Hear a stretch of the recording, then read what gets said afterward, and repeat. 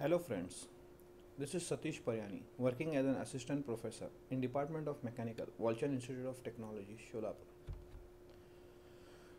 Today we are discussing how there, the, there was evaluation of work study and at the end of this session students will be able to understand evaluation of work study and the term work content. What are the contents of today's session? Evaluation of work study, the contribution of Gilbreth and Taylor, total work content, excess time, interruptions and productivity, and what the references used. Now, how the work study was evolved. The basic work study evolution has started with F.W. Taylor, which is also known as founder of modern method and time and time, and time study, and he started his work way in 1881 he established that each job should have a standard time determined by the time studies. In the timing process, Taylor advocated dividing the work into small divisions of effort known as elements.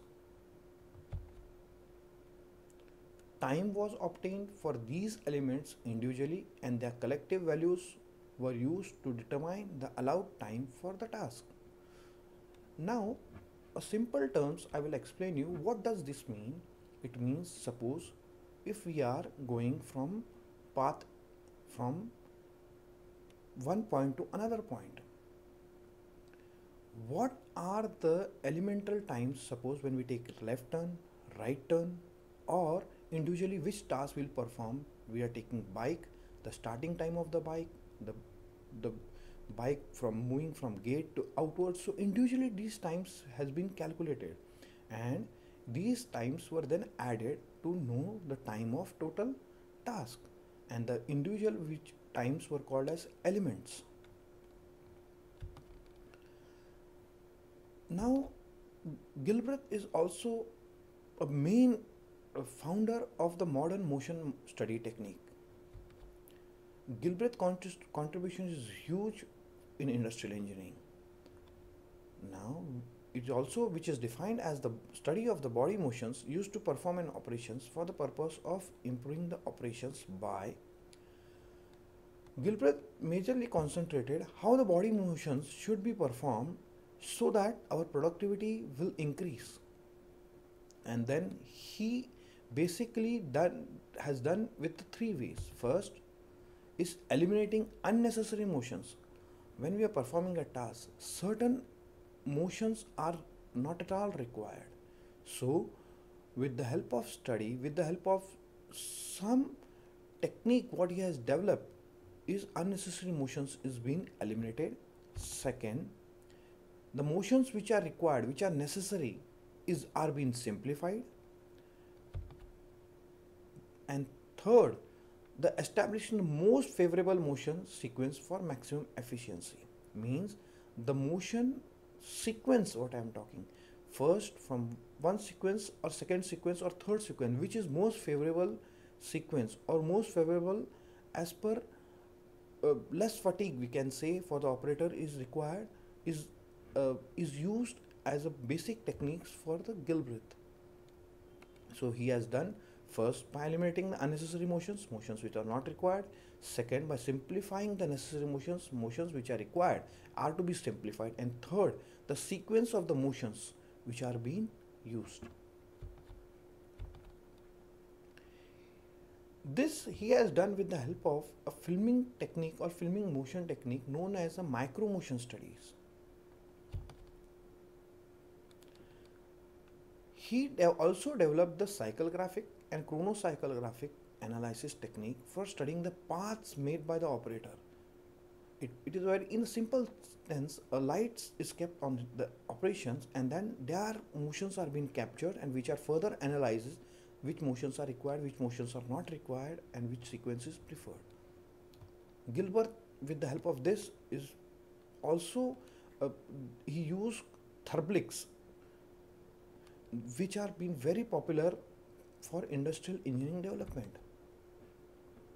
Consequently, with the help of cycle, chronocycle graphic, it became possible to determine the direction also and compute the velocity, acceleration and deceleration in addition to study of the body motions. This has made a huge contributions in industrial engineering development. Now, further studying industrial engineering, there are some basic terms which are which we have to know. The first is total work content. Total work content is the amount of work contained in a given product or process and at the same is measured in terms of man or machine hours required. Total work content consists of basic work content and excess work content. Means total work content is basic work content plus some excess work content. Now we'll further understand what do you mean by basic work content or excess work content. Basic work content is irreducible minimum time theoretically required to produce as a unit of output. Means a time which further which we cannot reduce it, a time which further we cannot compress it to do certain tasks is called a basic work content.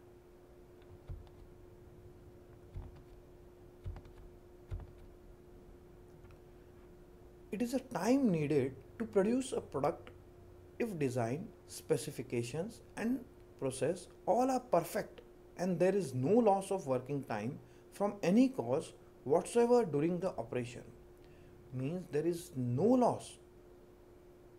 There is not at all a single unit of time loss. Then it is called a basic work contained However, it includes the minor pauses caused by legitimate need of operator.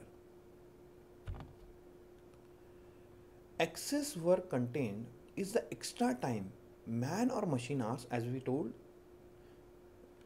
needed to carry out due to improper design of product or inefficient method of operation.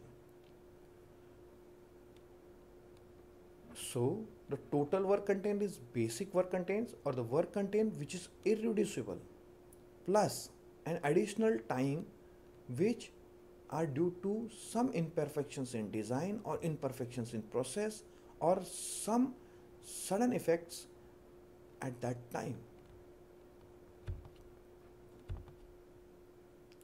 Excess time is time due to defect in design, specification plus time due to inefficient method of operation. Now why the excess time is being utilized? As we know if the product is designed if the product is not designed as per the proper specifications then during production certain time is being utilized. Certain time is being utilized. So this or even if the product is designed to certain a, a very good design process but if the process is not being followed there is some skipping of process by some operator due then that also or inefficient methods then that also adds some extra time this is called some extra time so we can say in the total work content, if the excess time is being remo removed, then it is called a basic working time. So total work content which is obtained from the time needed to do the basic work and excess work in uninterpreted manner. Time loss due to interruption in work is also known as ineffective time.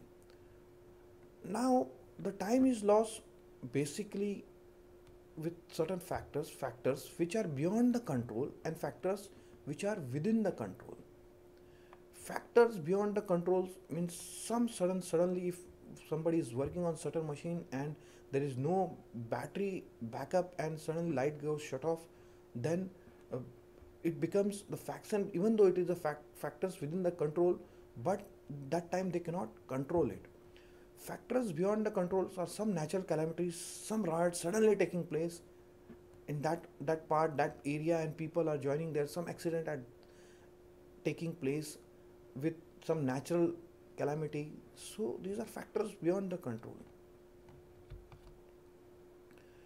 Now we come to the topic of interruptions and productivity. Obviously, any form of interruption in a work leads to reduction in productivity particularly interruptions caused by the factors within the control, the factors such as related to management, worker are targeted first for increasing productivity. So the factors within the controls mean the factors which are able to control are the first point which we need to control it because total time of operation under existing condition is summation of total content and ineffective time.